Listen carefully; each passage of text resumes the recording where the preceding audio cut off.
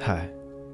Today in this video, I want to talk about embracing the moment.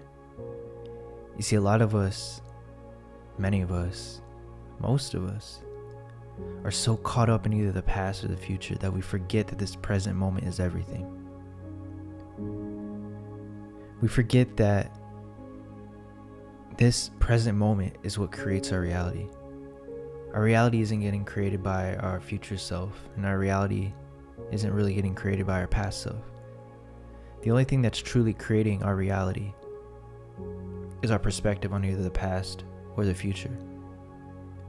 We're creating our past because we, we believe our past defines us.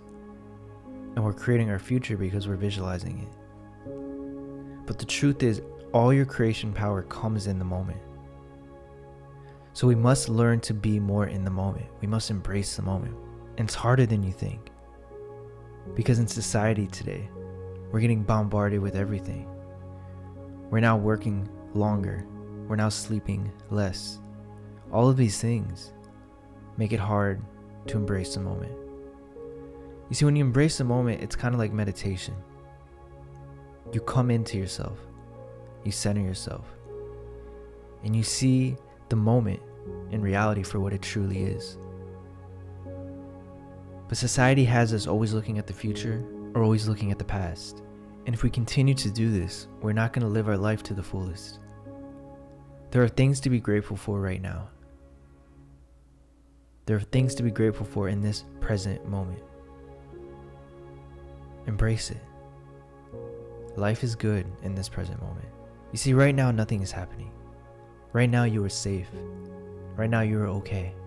It's only the past and the future thinking that brings anxiety. But right now, nothing is happening. You're sitting here listening to me talk. This is the power of embracing the moment. Now, imagine if you embrace the moment more. How much clear thoughts you would have, clear emotions, less anxiety. And in this, in turn, will mean better manifesting. You'll manifest everything you want when you're clear headed and you're calm. So embrace the moment.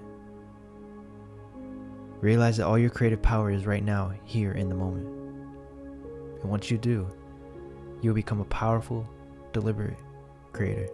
And if you made it this far in the video, comment down below, I embrace the moment. And I'll catch you guys in the next one.